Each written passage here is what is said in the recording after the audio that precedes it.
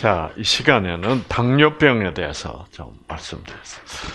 뭐 당뇨병이라고 해서 암하고 뭐또내 병하고 관계 없다 그렇게 생각하지 마세요. 어, 모든 병은 다, 다 유전자의 변질로 오는 것이고 유전자를 회복시켜서 아, 질병이 치유되는 것은 당뇨병이든 무슨 병이든 다 동일합니다. 그래서 여러분이 당뇨병 강의를 들으시면서 여러분 자체의 문제에 적용시켜야 됩니다. 자, 당뇨병이라는 병은 뭐 명칭 그대로 하면 어, 어, 소변에 뇨에 당이 나오는 병을 당뇨병이라 그럽니다. 소변은 본래 당이 나와서는 안 됩니다. 그러나 건강한 사람도 당이 나올 수가 있어요.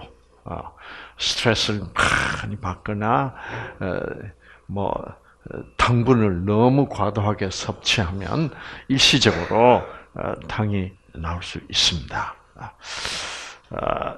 근데 이 그러나 정상적으로는 어, 절대로 당이 소변에 나와서는 안 되죠.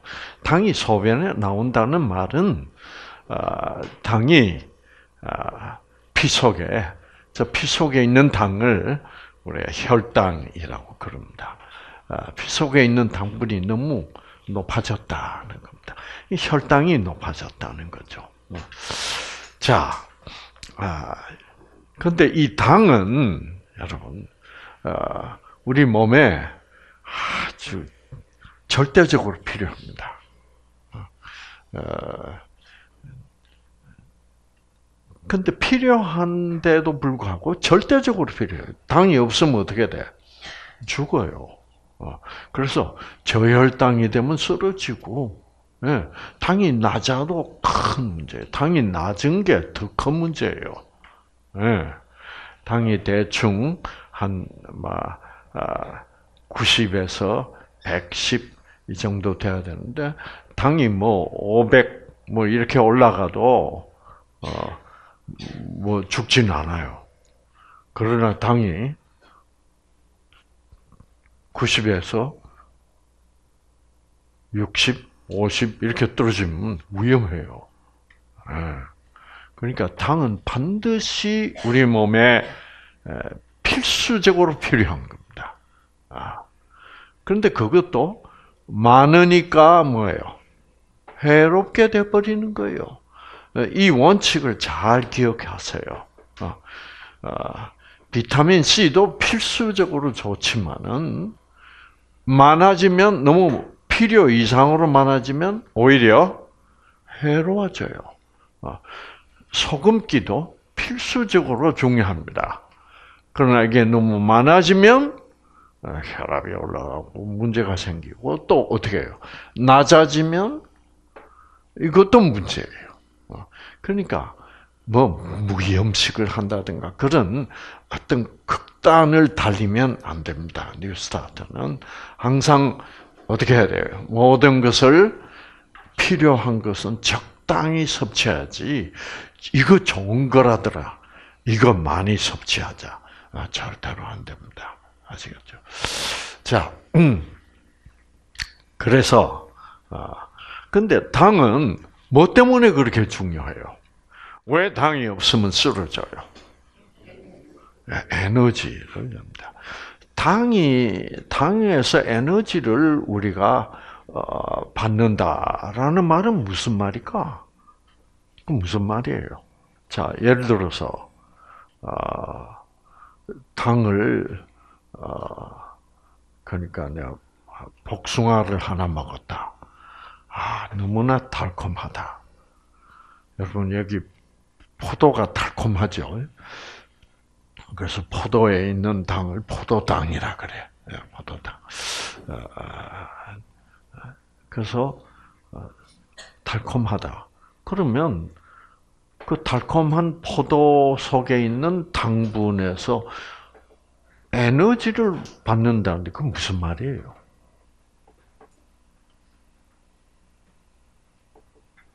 말은 해놓고 보니까 물어보니까 모르겠죠. 예. 예. 이 세상 사람들이 되게 안다는 거예요. 그래요. 당뇨병이 뭔지 압니까? 아, 알지요. 어떤 병인데요. 아, 소변에 당이 나오는 병 아닙니까? 아, 그 소변에 당이 왜 나오죠? 그건 몰라요. 그거는 아는 것 같은데 모르는 거. 그래서 여러분 아는 것 같다. 그런데 이게 알면은 진짜 알아야 돼. 자, 당에서 에너지를 얻는다. 무슨 말이에요? 자, 일단 당이 우리 몸 속으로 들어가면 어떻게 돼요? 몸 속으로 들어가면 모든 것이 분해가 됩니다. 그렇죠? 어, 여러분이 에, 어, 고기를 자 어, 어, 등심 한우를 구워서 어, 먹었다. 그러면 어, 먹으면 분해가 됩니다. 그 속에 있는 고기 속에 있는 단백질이 아미노산으로 분해가 돼요. 그래서 그 아미노산이 흡수가 돼. 네. 그 모든 게 분해가 됩니다. 당분이 그래서 이 단백질은 아미노산 덩어리라고 보면 되거든요. 그래서 그 아미노산이 우리에게 필요합니다. 아미노산은 약 한 22가지 아미노산이 있어. 그게 다 우리 몸에 필요해. 네. 그러나 그러나 당분은 섭취하면 어떻게 돼요? 아미노산이니 뭐 그런 물질들은 섭취하는 게 없어요. 당분은 분해시켜 버리면 뭐가 돼 버리냐면 아무것도 없어. 남는 게 뭐밖에 안 남아? 에너지만 남아. 그 에너지가 뭐예요, 바로? 그 에너지, 그 전기입니다. 전기. 전기. 와, 당분은, 당분을 먹는다는 것은, 그러니까 여러분이 현미밥을 먹는다. 내가 옥수수를 먹는다. 여기 옥수수 참 맛있죠. 예. 옥수수를 먹는다는 것은 내가 전기 먹는 거예요. 그러니까 옥수수 하나 하나, 쌀 하나 하나, 사과 한 조각 한 조각이 다 우리가 전기 먹는 겁니다.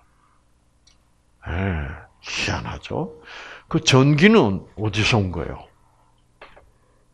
그 전기는 태양광선입니다. 자, 식물이 잎사귀를 해가지고 그 태양에서 달려오는 태양광, 곧 그 본질은 뭐예요? 태양 광선의 본질은 뭐예요? 전자파예요. 전기 에너지예요. 왜, 왜 그게 전기 에너지예요? 태양에서 뭐 하기 때문에? 태양에서 발전해요, 발전. 그 태양에서 전기를 만들어서 지구를 향해서 쫙 쏘아주는 거예요. 어. 그 태양에 발전소가 있는 모이죠? 그 누가 지었죠? 네. 태양에 발전소 없어요. 근데 발전이 돼. 음. 네. 참 신기하죠, 그렇죠? 어. 그래서 태양 그 자체가 핵발전소입니다. 그런데 음. 우리 울진에 있는 핵발전소는 핵분열 발전소고 태양은 핵융합 발전소라고 그래요. 네. 자, 원자 핵이라는 것이 뭉쳐 있습니다. 그렇죠? 여러분 봤죠? 그림. 예, 예. 근데 뭉쳐 있는 것이 분열이 되면 그 소위 분열 에너지라는 게 나와요. 근데 이제 융합 아, 예를 들어서 수소 원자 이렇게 수소 원자 한 개가 있고 이게 두 개가 있는데 이거를 붙여 붙이면 헬리움이라고 하는 새로운 원자가 돼버려. 그러면서 수소 성질은 없었죠. 그 이게 이거를 융합이라고 이게 뭐가 같으냐면 처녀와 총각이 융합을 하면 예, 부부가 돼버려. 아시겠죠? 되면서 여, 여력이 더 세죠. 예를 들어서 처녀 총각으로 직장 생활을 하다가 따로따로 결혼하기 전에 독신으로 살 때는 집세도 따로 따로 내야 되고 전기세도 따로 따로 내야 되고 다 따로 따로 내야 되는데 결혼하면 어떻게 돼요? 집세는 한 사람분 안 내도 돼. 그렇죠? 어, 전기세도 마찬가지. 그래서 에너지가 많이 남아 돌아가요. 이제 그 원칙이야. 그래서 헬리움과 헬, 어, 수소와 수소가 딱 만나서 융합을 하면 막 이 핵분열 발전소보다 핵융합은 막대한 에너지를 생산해요. 음.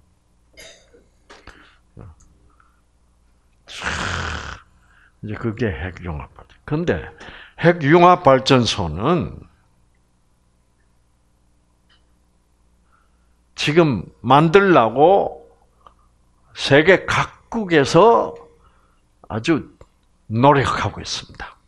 자, 우리 온 세계가 다 합해서 그래서 세계 최 선진국 7개국이 합심해서 만들어 보자. 그래서 지금 잘 돼 가고 있습니다. 그 대한민국도 그 7개국 중에 포함이 돼요. 그래서 지금 거의 만들 수 있는 단계까지 왔다. 그런데 아직 못, 아직 못 만들어요. 아직도 못 만들어. 굉장한 기술이 필요해요. 음. 음, 그만큼 어려운데, 그 태양에는 기술자들도 없는데, 어떻게 핵융합을 하고 있는지, 참으로, 참으로 놀라워요. 그왜 그럴까? 왜 그럴까요? 모르겠어요. 모르겠으면 딱 하나님이라 그러면 됩니다. 아시죠?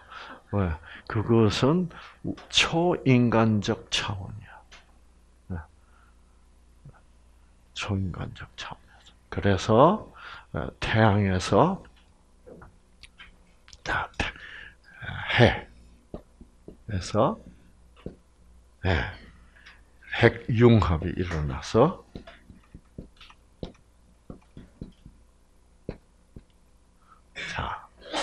발전 발전을 해서 태양 광선 이것이 바로 전자파야. 전, 전자파는 전기 에너지란 말입니다. 이것이 지상에 와서 어디에요? 식물에 입사하기. 그래서 뭐가 돼요? 광합성이라는 게 돼. 광합성 빛을 잎사귀에서 엽록소에서 받아가지고 배터리를 딱 만들어요. 그래서 식물이 배터리를 만드는 과정을 광합성이라고 그래요. 그러니까 전기를 받아서 배터리를 만든다. 하는 말이 광합성이에요. 자, 배터리를 만들려면 이게 뭐 어떤 물질이 필요하잖아. 그렇죠? 여러분 자동차 배터리도 예, 이렇게 배터리 통이 있고 다 물질이 필요합니다. 예. 그러면 어, 식물이 광합성을 사용해서 어, 배터리를 만든다. 그게 바로 뭐예요? 그게 바로 열매예요, 열매. 과일, 네.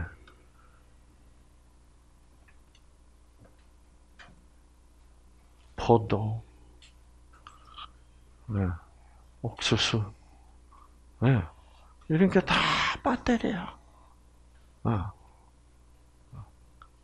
그래서 우리는 이 배터리를 먹고 먹습니다. 열매를 먹어요.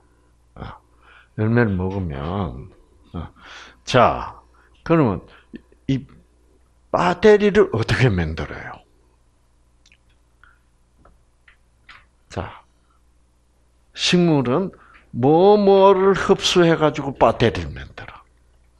첫째 공기 중에 있는 뭐예요? 탄산가스를 받아야 돼. 음. 그 다음에 뿌리를 통해서 뭐예요? 물을 받아가지고 배터리를 만들. 참 놀라운 놀라운 얘기죠. 응. 음. 그래가지고 공기 중에 있는 CO2 탄산가스는 까만색이라 합시다. 자, 이게, 이게 CO2, 탄산가스다. 근데 탄산가스를 받아가지고, 이 산소 O2는 어떻게 해버려요? 배터리 만드는데 이게 산소는 필요 없으니까 어떻게 해요? 잎사귀를 통해서 내보내버려. 그리고 뭐만 받아들여? C, 탄소만 받아들여. 그 탄소는 수, 수치니까 새까만 거. 어, 수, 수치. 자, 그 다음에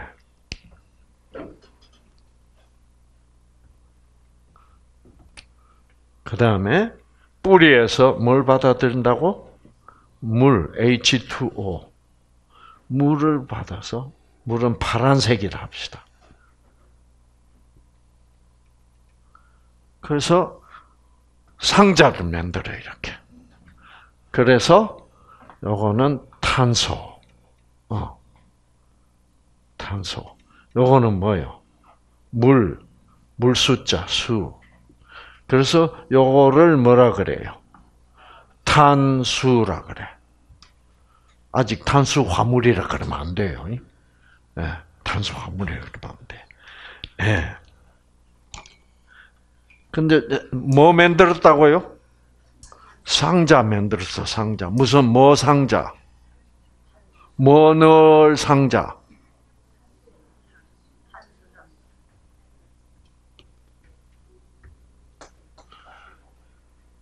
그렇죠. 전자파를 집어넣을 상자가 필요해. 네. 그래서 여기 상, 전자파가 햇빛이 들어갑니다. 딱 들어서 딱 잠그면 이게 바로 탄수화. 화는 무슨 말이에요? 화합했다는 말이야. 탄소와 물이 화합했다.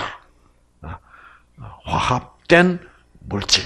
그것을 탄수화물이라고 그래. 네. 탄수화물은 아는데 탄수화물을 몰라. 어. 다, 다 그래요, 사람들. 음, 자, 그래서 탄수, 화, 물.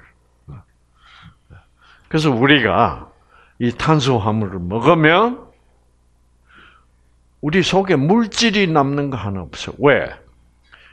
이 상자를 다 버려버립니다. 자, 탄소는 어떻게 해서 버려버려요? 우리가 산소를 받아들인다. 그렇죠? 이 식물이 탄산가스를 흡수해서 산소를 공중에다 버리는 걸 우리는 또 받아들여. 받아들여가지고 뭐 하려고? 이 탄소와 산소를 또 합쳐가지고 탄산가스로 만들어서 내버리려고. 상자 내버리려고. 배터리 상자 내버리려고. 그럼 내버리고, 그 다음에 물이 생겨요. 물은 어떻게? 화장실 가서 버려. 소변. 그러면 탄수화물 먹고 나면 남은 건 뭐밖에 안 남아요? 에, 햇빛만 남아. 그래서 여러분 우리가 햇빛 먹고 삽니다. 햇빛. 에. 그 햇빛이 에너지 아니에요. 그렇죠. 참 희한하게 만들어졌죠. 끝내주게 만들어 놨어요. 그래서 여러분이 이런 것을 세부적으로 알면 알수록 참 누군가가 끝내주게 우리를 만들어 놓은 거야. 이게 우연히 이렇게 생겨날 수가 없죠. 없죠. 우연히. 네. 그래서 이게 탄수화물. 네. 그래서 이 탄수화물이 바로 뭐예요? 우리가 이 탄수화물을 바로 우리가 전체로 해서 이 에너지하고 다 같이 들어있는 걸 이거를 뭐라 그래요? 이거를 당이라고 부르는 거예요. 당. 자, 그러니까 탄수화물이 중요해요, 아니에요? 아주 중요해요. 어? 그래야 우리 몸에 전기가 어? 그래서 여러분 전자제품은 배터리가 약해지면 어떻게 돼요? 작동 잘 안 해요. 어. 그래서 그래서 혈당이 낮아지면 작동을 안 해. 아, 그래서 막 어, 머리도 어지럽고 막 어, 기운도 없고 쓰러지고 그게 그래서 과학적으로 이해하라면 과학적으로 네. 우리 몸의 건강 상태를 과학적으로. 자, 자 이제 그래서 이 당이 뭔 줄을 이걸 알아야 돼. 그러면 그러면 우리 몸에 당이 들어오면 이 뭐, 무슨 과정이 필요해요? 배터리 분해 과정이 필요해 가지고 어, 탄소는 탄산가스로 버리고 어, 그다음에 소변으로 물은 버리고 어, 하는 그 과정이 반드시 있어야 됩니다. 그렇죠. 그 분해를 시켜야만 돼. 그 분해를 어디서 시키게?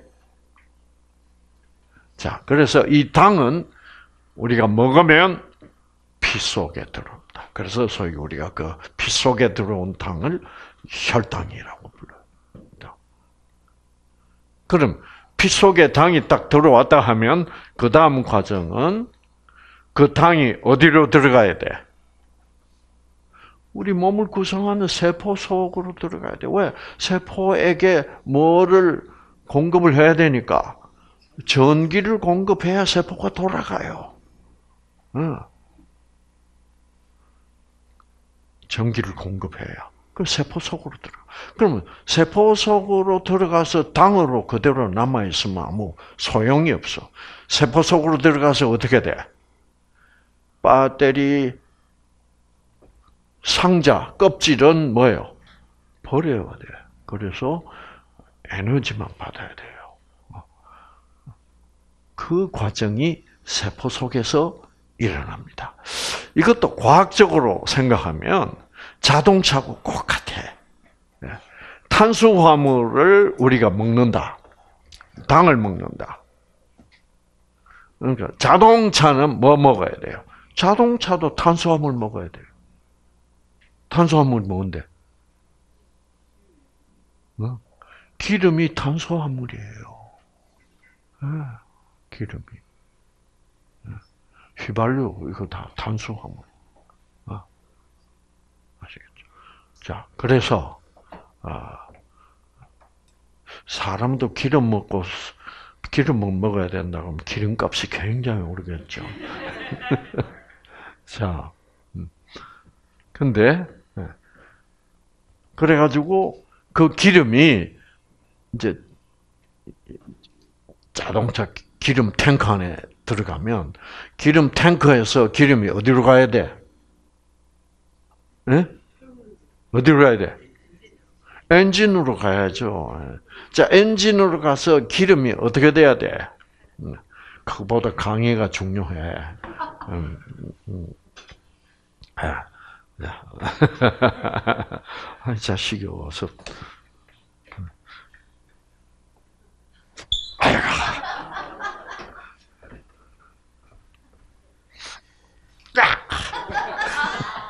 아, 아.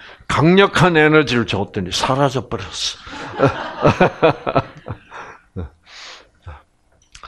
자, 그래서 엔진으로 들어가서 연소가 돼야 됩니다.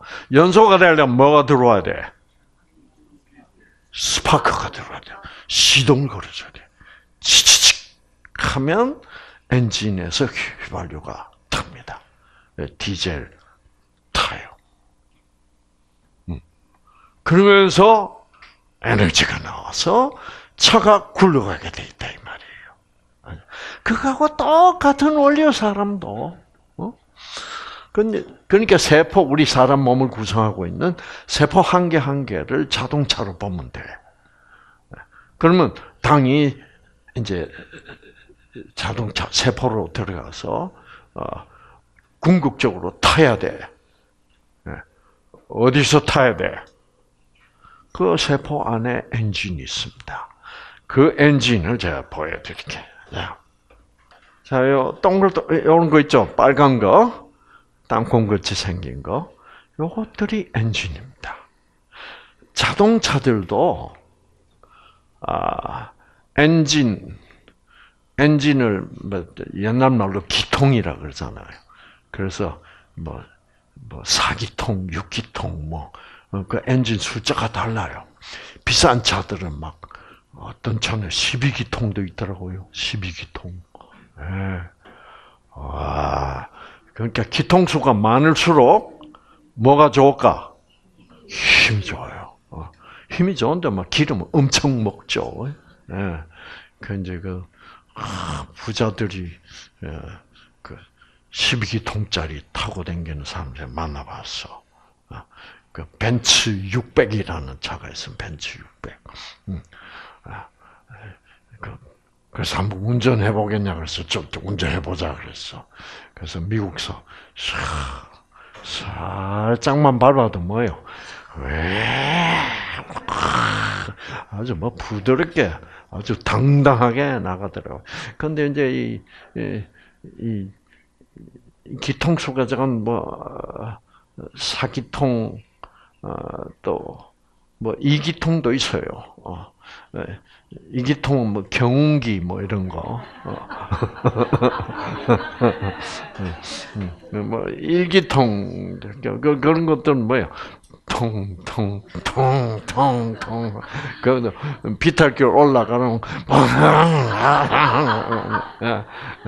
여기 힘이 없어가지고 막, 막 신음을 하면서 어, 올라가는 거죠. 그런데 음.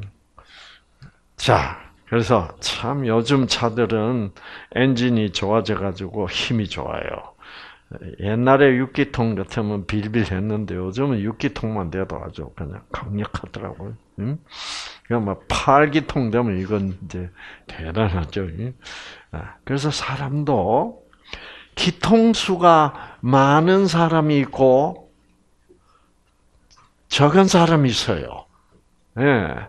그 적은 사람은 맨날 뭐라 그러고 살고 살까? 입에 붙은 달린 소리가 뭐냐면 아이고 피곤해라. 아이고 기운 없다. 아이고 좀 쉬자. 좀 타고 가자. 아, 걸어가야만 되나. 뭐 맨날 이런 불평을 합니다. 아, 그 기통수가 작아서 그래요. 그러니까 에너지가 생산이 안 되는 거야. 아시겠죠? 어. 기통수가 제일 많은 사람들은 누굴까? 네, 운동선수들이 네. 맨날 운동하니까 에너지 생산을 많이 해야 되니까 기통수가 변해요. 참 놀랍죠. 네. 이 미토콘드리아, 이 엔진이 대개 한 150개에서 300개 이 사이에 이제 있는데 150개밖에 안 되던 사람도 어떻게 운동을 꾸준히 하면 기통수가 늘어요. 그래서 여러분이 기통수가 150개밖에 안 돼 가지고 맨날 피곤하더라도 뉴스타트에 오셔서 생명을 받으면서 어, 기본 여건 운동을 계속 규칙적으로 해주면 절대로 과하게 하지 마세요. 어, 이야 내가 너무 막 이야 내가 이제 이렇게 너무 과하게 하면 살짝 뒷걸음질 칩니다. 아시오? 과하게 한 만큼 뒷걸음질 쳐요. 그러니까 딱내 예, 능력에 맞도록 그걸 누가 가르쳐 줄 수가 없어. 내가 해보고 어, 시행착오를 거쳐서 내 체력이 요 정도구나 하는 거를 정직하게 내가 평가를 해야 돼. 맞아요. 그래서 딱 맞을 맞는 정도. 어, 어. 그래서 운동을 했는데 내가 푸축 처졌다. 아이고 죽겠다. 아이고 뭐 그러면 거의 과로야. 그러니까 뉴스타트는 그런 식으로 운동을 절대로 하지 마시라 이거죠. 음. 자, 그래서 어, 그래서 이제 여러분이 아침마다 이렇게 운, 어, 스트레칭 하시고 규칙적으로 걷고 그러면서 매일 매일 미토콘드리아가 170, 180, 200 쫙 올라가고 있어요. 그러면 미토콘드리아가 많은 사람이 당뇨병에 잘 걸릴까? 적은 사람이 당뇨병에 잘 걸릴까? 아. 물론이죠. 그러니까 이 운동을 안 하는 바람에 당뇨병 환자의 수가 한국에 급격하게 증가해버려. 아시겠죠? 응. 옛날에는 대한민국에 당뇨병 환자가 없었습니다. 제가 의과대학을 졸업할 때가 1967년. 야, 벌써 51년 전이야. 그렇죠. 참, 세월도 많이 갔어요. 음. 그때는, 여러분, 그 당시에는 신촌 그 세브란스 병원이 서울 역 앞에 있다가 신촌으로 이사를 갔잖아요. 가지고 그 미국서 원조를 해줘가지고 신촌 세브란스 병원이란 병원이 최고의 신식 병원으로서 제일 컸어요. 어. 참 그때 자랑스러웠는데 예. 그큰 신촌 세브란스 병원에 당뇨병 환자 입원한 일이 없어. 당뇨병 환자를 만날 수가 없어요. 네. 당뇨병이 그만큼 없었어요. 그때는 당뇨병 그러면 어, 그 당시에는 재벌이라는 단어도 없을 때야.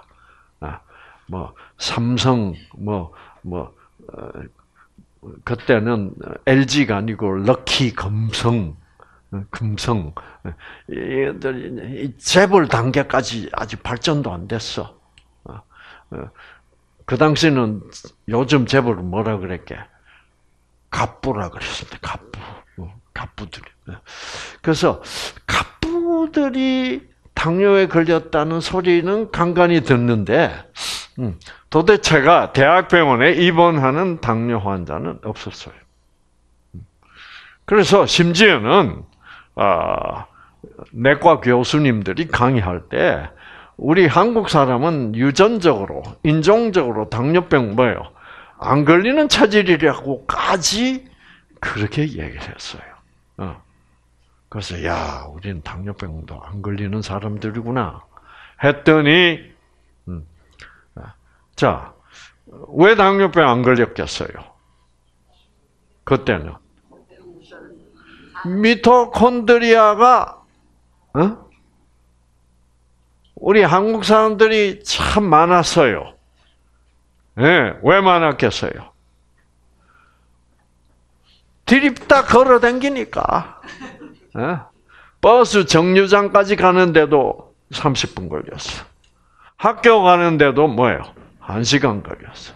버스 정류장 버스 타고 내리면 또 뭐예요? 또 40분. 얼마 맨날 하루 종일 걷다가 볼 일 다 보는 그런 시대였어요. 그러니 미토콘드리아 수가 막 많고 그 다음에 당 섭취량이 뭐예요? 적어요. 음. 그 당시에요. 우리 그 당시에 이제 1950년, 60년대 이 우리가 이 그 가게에서 눈깔 사탕을 팔았어요. 하는데 제일 큰 눈깔 사탕을 소눈깔이라고 그랬습니다. 아, 이만해요. 이거 하나 입에 물면 천국이었어. 아, 얼마나 행복한지. 그럼 이거 물면 어떻게 돼요? 어? 그래서 이제 그게 당이 살살 녹아서 어, 넘겼는데 진짜 천국 기분이죠. 참 그만큼 당이 없어가지고 당이 부족해가지고 그 당이 하나 들어가면 아, 너무 좋았어. 음. 근데 요즘 당 섭취량이 너무 많아. 음? 많고 어, 거기다가 이제 지방 섭취량도 많고 이래가지고 당뇨병 환자가 뭐, 뭐 폭등했잖아요. 그렇죠. 자, 그래서 이제 요 정도 기본 지식을 가지고 이제 당뇨병의 원인을 여러분이 예, 이제 설명을 들어야 아, 그래서 아 이게 원인이구나 하면 어, 어, 아 그러므로 낫는 길이 보인다 이렇게 돼서 끝나는 거예요 아시겠죠? 자 그래서 이제 본격적으로 당뇨병에 대해서 한번 해봅시다.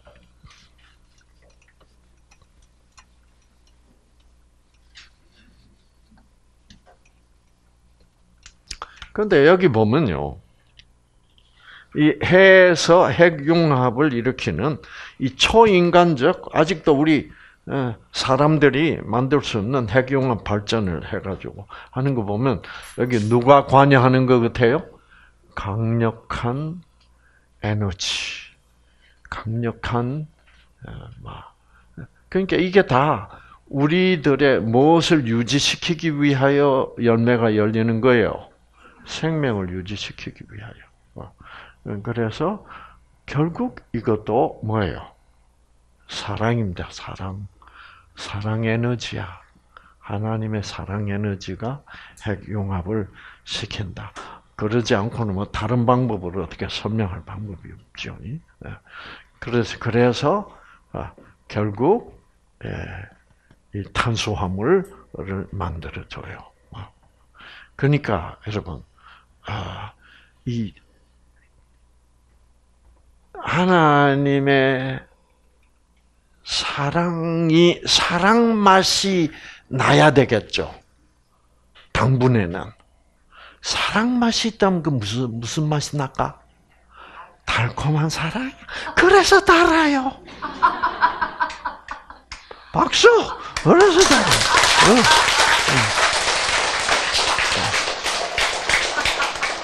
그리고 또 사랑은 달콤할 뿐만 아니라 향기로워요. 그래서 과일의 꽃에 뭐요? 향기가 난다고. 어. 그리고 과일이 어떻게? 예, 이뻐야 돼, 그렇죠? 여러분. 그래서 과일들을 대개 보면요. 이 하트 모양을 띠려고 하고 있어요. 어, 특히 복숭아는 참 이 하트 모양이 좋아 그렇죠. 쫙 해서 있는데 사실 사과도 보면 어떻게? 그 보면 하트 모양이에요. 예. 그리고 색깔도 뭐요? 아름다워야 돼.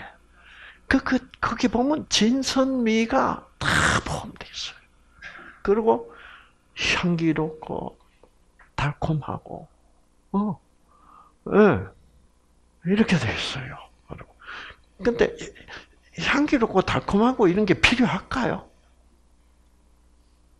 저는 옛날에 의과대학 다닐 때, 예, 야, 이거, 어, 어, 어, 그, 그, 우리가, 이, 과일이 이렇게 정사각형으로 뭐예요? 탁 이렇게 돼 포장하기도 쉽고, 어. 네. 그렇게 생각하는데 그거는 뉴스타트적인 관점이 아니에요. 음. 왜 그러냐면 우리가 복숭아 하나를 집었다. 향기도 좋다. 아, 색깔도 너무너무 곱다. 이럴 때 벌써 유전자가 뭐예요? 켜지고 있는 거야. 우리가 물질을 먹는 게 아니라 뭘 먹는 거니까? 사랑을 먹는 거니까. 창조주가 다 그거를 일부러 경제적인 효율성은 떨어질지라도 생명적으로 만들어 놨다면 생명적으로 효율이 있도록. 그래서 여러분, 그래서 예를 들어서 귤, 응? 생각해 보세요. 아, 귤 향기도 좋다, 색깔도 좋다. 그러면서 벌써 깔 때, 귤 껍질 까면서 침이 질질 나왔 나와. 그게 바로 그, 그 유전자를 꺼진 유전자를 켜주려는 창조주의 뜻이라 이 말이야. 그래가지고 이제 그게 여기서 준비가 다 돼요. 어, 위장에서도 벌써 유전자가 켜져가지고 소화 효소가 생산이 다 돼 있고 준비가 딱 돼 있어. 이 까는 동안. 어? 그래서 여기 씹어 먹고 음, 음, 예. 예. 여러분 귤 알약이 있다면 어떻겠어? 아, 이 귤 알약인가? 오케이. 아, 이게 귤이라 켰지? 유전자 켜질까, 안 켜질까? 안 켜집니다. 참, 그러고 보면, 왜 과일이 이렇게 이쁘게, 향기롭게, 색깔, 모양까지, 하트, 사랑해. 네. 그랬더니 어떤 분이, 어떤 참가자가, 박사님, 바나나는 하트 모양이 아닌데요. 아, 이거 난감해지더라고. 그렇죠? 어. 근데 하나님이 도와주셨어. 어, 착! 언뜻, 뭔 생각나요? 바나나 두 개 들어서 붙여보라. 그럼 하트에 아니에요. 그래서 한쪽 하트, 하트 타요. 어, 딱 붙지 뭐. 어, 바나나 하트 나온다. 어. 그래서 저 옛날에는 아 이게 바나나도 딱 직각형, 응? 직사각형으로 딱딱 해서 하면 이 포장하기도 얼마나 쉬워. 그런데 그게 아니야. 포장에 비용이 좀 들어가더라도 뭐가 더 중요해? 진선미, 사랑, 생명이 더 중요해서 이렇게 이 세상이 이렇게 돼 있는 거예요. 아시겠죠? 이게 뭐 경제적으로 효율적입니까? 이 꽃이? 예, 예. 네, 그렇죠. 어, 그러나 하 우리가 어, 그래서 아 그래서 예. 뭐 꽃이 뭐 밥 먹여주나 그러지 마세요. 음, 음. 밥보다 더 좋은 거 진선미를 주는 거예요. 자, 그래서 결국은 하나님이 생명을 주시고 또 우리에게 뭐를 주세요? 탄수화물을 줘서 전기를 공급해 주고. 그래서 전기가 들어와야 뭐를 받을 수 있다고? 생명을 받을 수 있다. 마치 핸드폰에 전기가 있어야만 신호를 받을 수 있듯이. 그래서 다 원리는 꼭 같습니다. 그래서 여러분이 얼렁뚱땅 하면 안 돼요. 뭐, 뭐, 뭐 좋다 그러더라. 뭐 그런, 그런, 그런. 자, 그래서. 자, 여기 이제 혈관이 이렇게 있어. 혈관. 이 무슨 혈관? 모세혈관. 자, 모세혈관의 모든 세포들은 모세혈관에 접해 있습니다. 자, 세포 두 개를 그리겠습니다.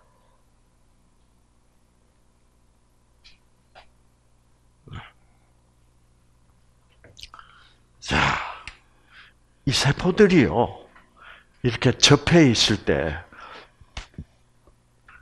세포들끼리 대화를 할까, 안 할까? 대화를 합니다. 뭐, 말로 대화하는 게 아니라, 물물 교환을 해요. 네. 야, 너는 칼슘이 좀 많은 것 같은데 나한테 좀 나눠줄래? 그럼 어 그래 그러자. 그 물물 교환. 그러니까 모든 우리 인체 시스템이 다 뭐예요? 나누고 대화하고, 예. 뭐 무슨 법칙으로 지배되고 있어요? 그게 바로 생명 법칙이요. 생명 법칙은 바로 사랑 법칙이에요. 예. 그래서 성경에서 뭐라 그래요? 하나님은 사랑이시다. 내가 너희에게 세 계명을 주노니 서로. 네, 그렇게 됩니다. 자, 자 그래서 음, 음. 자 그래서 여기 이제 까만 점을 우리가 혈당이라고 합시다. 혈당, 혈당, 혈당. 아 그리고 이제 이제 이 이게 이제 적혈구. 적혈구는 뭐를 운반한다 그랬습니까? 예? 예, 산소를 운반한다. 그래서, 예. 그래서 이 초록색은 적혈구. 적혈구 속에 산소가 있다.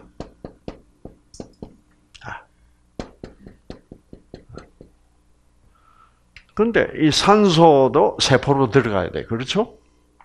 산소는 기체기 때문에 그냥 세포 속으로 그냥 스며 들어갈 수 있습니다. 그런데 이 당분은 산소라는 물질보다는 분자 가 너무 분자량이 크고 그래서 입자가 있어서 이 혈당이 들어가려면 반드시 여기에 문이 열려야 돼요. 혈당이 들어갈 수 있는 문이 열려야 됩니다.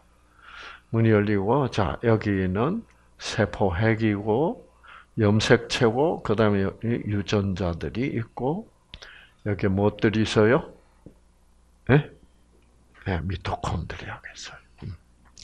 참이 미토콘드리아 수가 유전자도 변하고 그 환경에 따라서 변하고 미토콘드리아도 변한다는 게 참 놀라워요. 옛날 몰랐습니다 우리. 음. 그러니까 근데 아 미토콘드리아가 변하구나. 아 미토콘드리아 수가 많아지면 좋겠다. 이런다고 많아지는 거는 뭐예요? 아니에요. 아, 아 운동을 하면 많아진다고? 그럼 오늘부터 운동을 뭐예요? 하자. 해서 행동으로 옮길 때 이게 드디어 변화가 온다 이 말이에요. 아시겠죠? 그래서 여러분들도 어, 행동으로 옮기라. 그 행동으로 옮길 때 그, 그 순간이 진정한 선택의 순간이야. 아시겠죠? 어, 그래서 어, 박수를 내가 아, 박수를 치면 유전자가 더 잘 켜지는구나. 그러고 안 쳐봐야 아무것도 아니에요. 어. 그러면 박수를 뭐요? 치자. 참은 그때부터 이제 네. 자, 그래서 긍정적이 되자. 용서를 뭐요? 하자 하고 자, 용서를 하자 하는 것에 용서를 행동으로 옮기는 건 뭐예요? 어떻게 하는 거예요? 미워하지 말자. 용서하자. 그걸 행동으로 어떻게 옮겨요?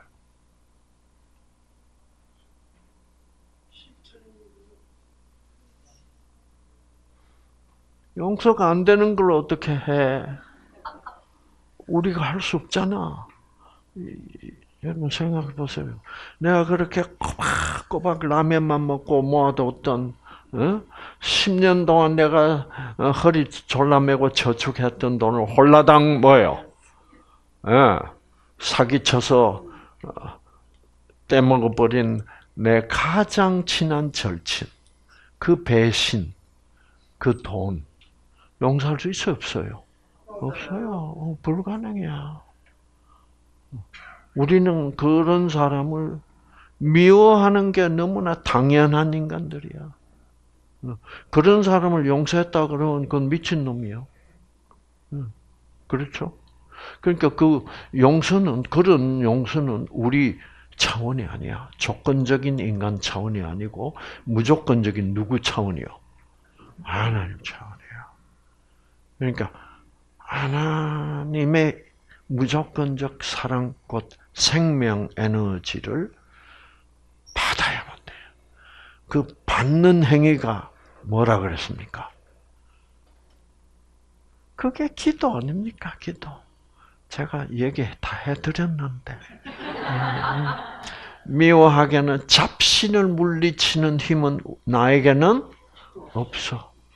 잡신을 물리칠 수 있는 힘은 하나님의 힘, 무조건적 사랑의 힘밖에 없어. 그러면 그거를 하나님 도움이 필요합니다. 라는 그 기도가 행위로 옮기는 겁니다. 맞아 내가 분명한 선택을 하는 거예요. 네. 네. 그래서 아, 아, 용서해야 되겠는데 그러고 기도 안 하면 용서는 안 이루어집니다. 아, 그래서 근데 사실 우리는 용서하게 해달라는 기도하는 것도 억울해서 못해요. 그것도 억울해서 하기 싫습니다. 아시겠죠? 그래서 우리가 배신당하고 그러면 참 어, 용서가 안 되죠. 그렇죠? 그래서 기도하시면 그래서 기도를 해보세요. 교회는 가란 말 안 할 테니까 아시겠죠? 일단 내 속에 생명이 들어와야 돼. 그게 필요하지. 생명은 없는데 교회만 왔다 갔다 해봐야 아무 소용 없어. 그런 사람 많아요. 그런 사람을 그런 사람을 뭐라 그래요?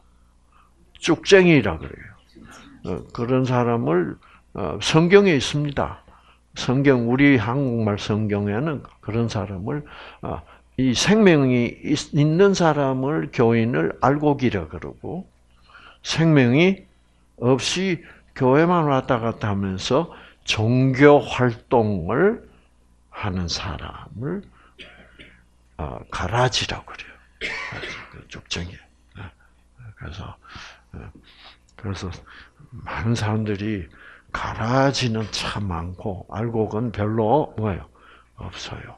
그래서 왜 생명이 뭔지도 몰라. 그러니까 결국 하나님을 어떤 식으로 알고 있으면 쭉쟁일까? 조건적으로 하고 있으면 쭉쟁. 그러니까 무조건적 사랑을 다 받아들여야 돼. 자, 그래서 이제 이 문이 열리기 위해서는 엘리베이터처럼 탁 누르면 문이 열리는 스위치가 있어요. 잘돼 있죠, 그렇죠? 뭐 하여튼 하여튼 끝내준다고. 예, 예. 그래서 그러면 이 문을 열, 열기 위하여 스위치를 눌러야 되잖아, 그렇죠? 근데 스위치를 누르는 게 어떻게 눌러지냐 하고 연구를 해봤더니 췌장에서 췌장에서 뭘 생산해요? 인슐린을 생산해. 그래서 이 인슐린이 와서 이 스위치를 누르면 문이 쫙 열려요. 그래서 당뇨병 환자에게 인슐린 주사를 놓아주니까 문이 뭐예요? 열려서 혈당이 세포 속으로 들어가니까 혈당이 떨어지니까 어, 우리 의사들이 어떻게 생각했냐면 아하 당뇨병의 근본적인 문제는 췌장에서 인슐린을 잘 생산하지 못하는 문제구나 라고 오해해 버렸어요. 그 오해가 오랫동안 의학계를 지배했습니다. 아, 그런데 드디어 의학이 더 발전하다 보니까 어 당뇨병 환자도 췌장에서 인슐린을 정상으로 생산하는 사람이 대부분이야. 그러니까 인슐린이 부족해서 당뇨병에 걸리는 것이 아니더라 이 말입니다. 아, 그래서 잘 연구를 해보니까 여기서 췌장에서 인슐린은 정상적으로 생산해서 누르는데도 불구하고 문이 안 열리더라 이 말입니다.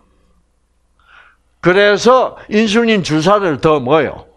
왕창 놔주니까 문이 열리는 걸 보면 열리긴 열리는데 인슐린이 더 많이 필요해. 그렇다면 문제가 어디 있는 거예요? 인슐린에 문제가 있는 건 아니죠. 어디에 문제가 있는 거예요? 스위치에 문제가 있어. 이 스위치가 고물이 돼가지고, 여러분, 옛날 건물 그 엘리베이터에서만 눌러도 불도 안 들어오잖아.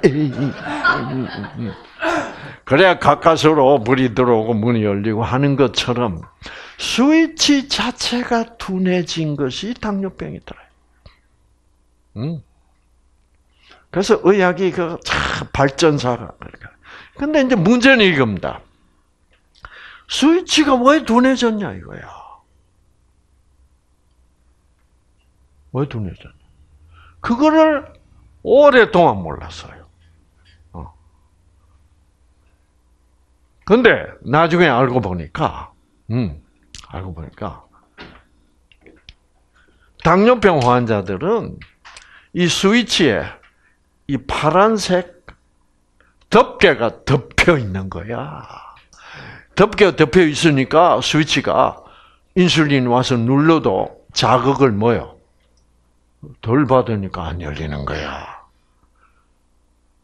그러면 이 덮개는 어디서 온 거야, 이게? 덮개는 가보니까 이 덮개를 만드는 유전자가 있는데 요게 건강한 사람들은 덮개를 안 만들어요. 어. 근데 이 당뇨병 환자들은 저 유전자가 켜져가지고 덮개를 만들어서 갖다가 어 초인종 어, 그 스위치에다 붙여 덮어버리는 거예요. 어. 자, 네, 여러분 왜 그럴까? 왜 그럴까? 자, 그래서 자 이제 하여튼 인슐린이 와서 문을 열면 당분이 혈당이 해요? 이 세포로 들어가서 어디로 가? 미토콘드리아로 갑니다. 이제 연료는 들어가서 그 다음에 이제 뭐가 와야 돼? 생명 스파크가 와야 돼. 응? 영적 에너지가 물리적 에너지를 지배한다. 자, 세포에는 정, 전류가 흐르고 있는데 그 전류의 주파수를 바꿔서 강력하게 스파크 치치 하도록 만들어 주는 게 바로 생명 에너지다. 그래서 그래서 여러분 여러분 차 세워놨다가 이제 시동 걸리면 어떻게 스위치 탁 돌리면 치치칙 하잖아요. 어? 그러면 이제 찌찌직 한 스파크 들어가는 순간 산소하고 휘발유하고 있던 것이 어떻게요? 이제 연소가 돼서 팍, 팍, 팍, 팍, 되잖아요. 그렇죠? 어. 그래서 여러분이 운전하는 동안은 계속 엔진에 뭐가 들어가고 있는 거예요? 치치치치치치 들어가고 있는 거예요. 스파크. 그래서, 그래서 계속 연료가 타면서 전기 에너지가 생기는 거예요. 그 에너지로 이제 굴러가는 거죠. 그래서 우리 세포들도 어, 여기서 이제 찌찌직 스파크가 오고 생명이죠. 와서 이 당분이 타면서 아, 에너지가 생산돼. 이 에너지는 이제 몇 가지 종류로 어, 같은 전기 에너지지만은 힘이 될 수도 있고 또 뭐가 될 수도 있어요? 열이 될 수도 있고 어, 그냥 전기로서 우리 몸에 전기가 흐르고 있는 거죠. 음. 잘 되죠, 그렇죠? 네. 자, 자, 그런데 왜 당뇨병 환자는 이게 덮여 있냐 이 말이에요. 스위치가. 자, 스위치는 뭐 하는데 사용해? 문 여는데 사용합니다. 문 열, 문을 열어야 되는 때는 어떤 경우예요? 네? 문을 열어야 될 이유가 뭐, 그 이유가 뭐예요? 혈당이 들어오라고. 혈당 들어와서 뭐 하게?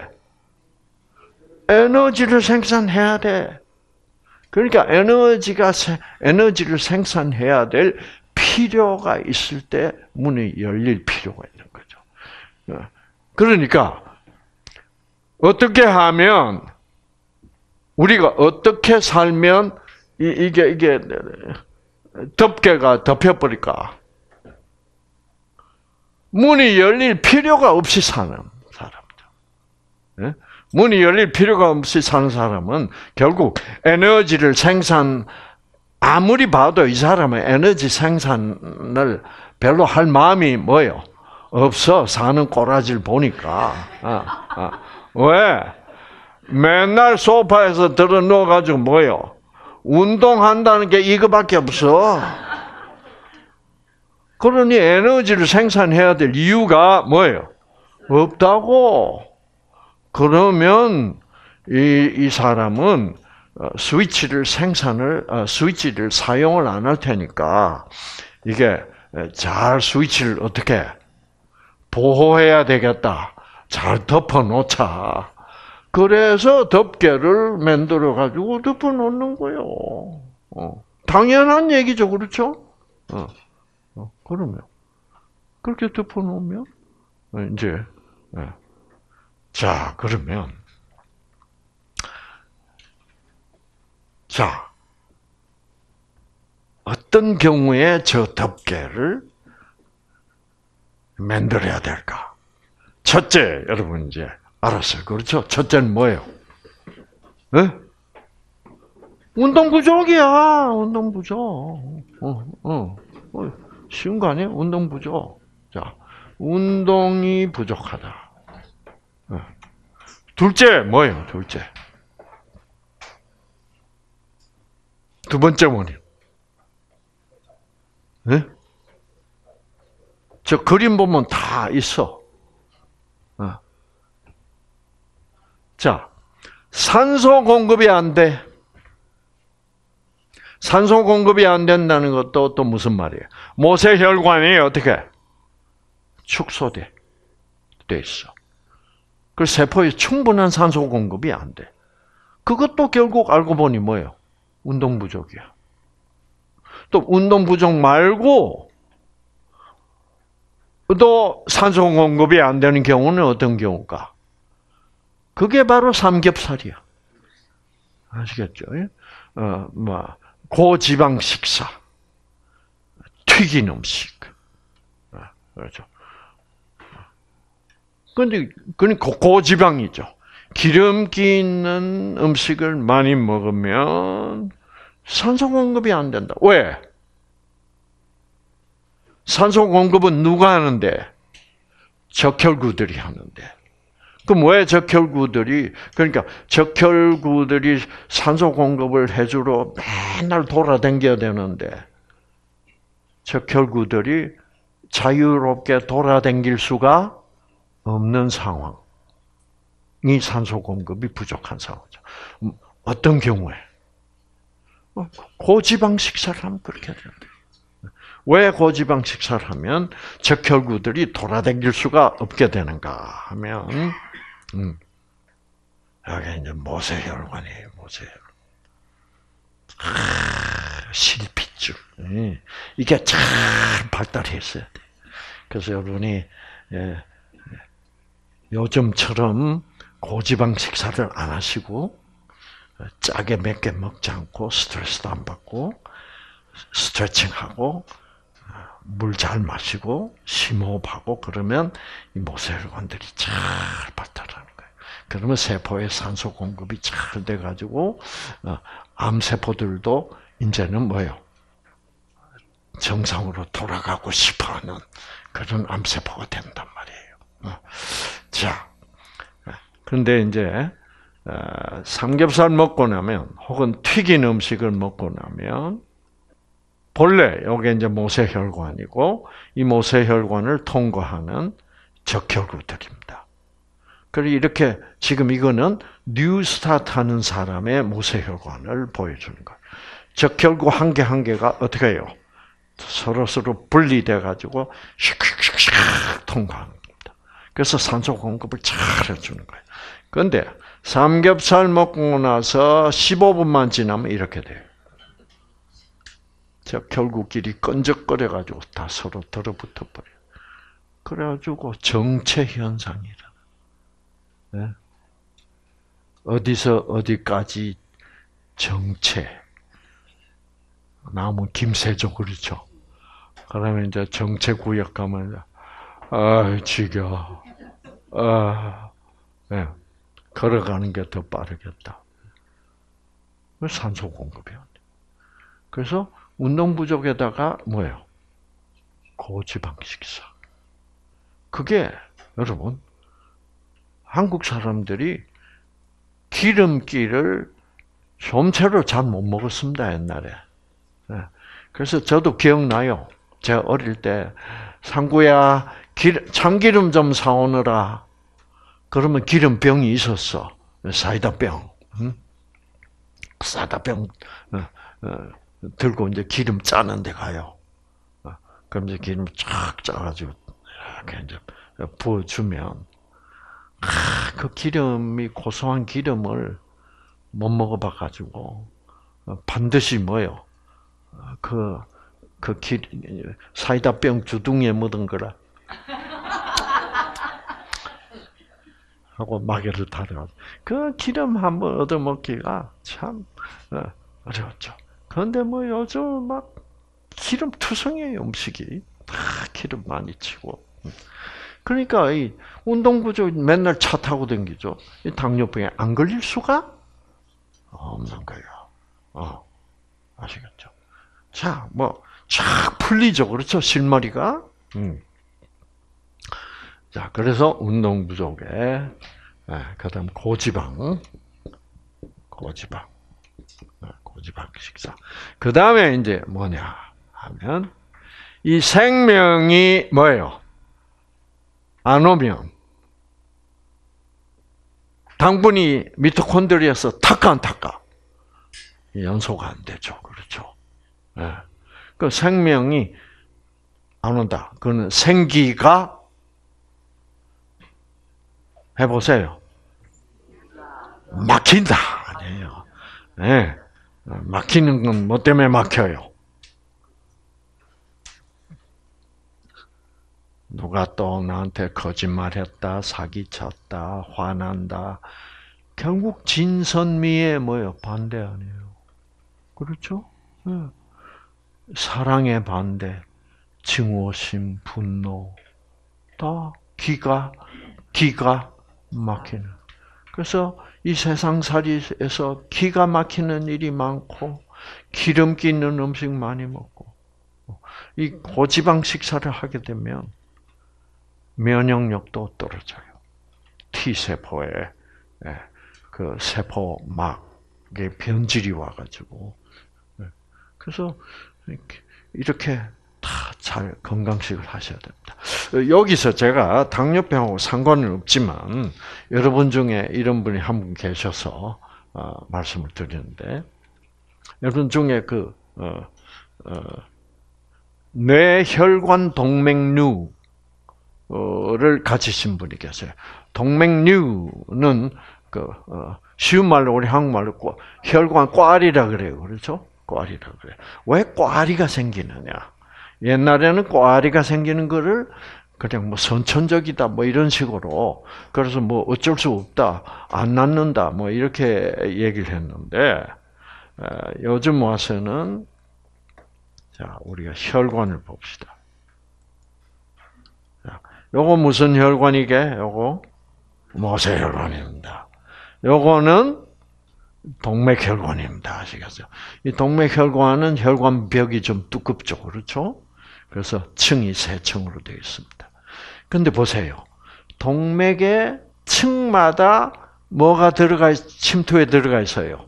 모세혈관. 그래서 혈관들이 영양 공급을 받는 것도 결국은 모세 혈관을 통해서 받는 거예요. 아시겠죠? 그런데 여러분 삼겹살 먹고 막 이래가지고 이 혈관들 맥혔다 합시다. 그러면 이 부분이 맥혔다 합시다. 모세 혈관. 그러면 이 동맥의 이 부분이 어떻게 될까요? 약해지죠. 그런데 네, 약해져 있다가 화날 일이 있어서 혈압이 쫙 올라갔다. 그러면 어떻게 될까? 약한 부분이. 약한 부분이 뿔룩하고 올라옵니다. 그래서 꽈리가 생기는 거예요. 아시겠죠? 그러면 이 꽈리는 어떻게 하면 어떻게 하면 될까요? 그 약해진 부분이 드디어 모세혈관이 뉴스타트를 통해서 영양소를 혈관벽에다가 잘 공급을 하기 시작하면 그리고 생명을 받기 시작하면 그 약해진 동맥 부분이 점차 치유가 돼서 정상 혈관으로 돌아오면서 꽈리는 점점 찌부러지고 그래서 꽈리가 완전히 없어져 버려요. 그래서 New Start로 꽈리도 없어진다. 응, 응,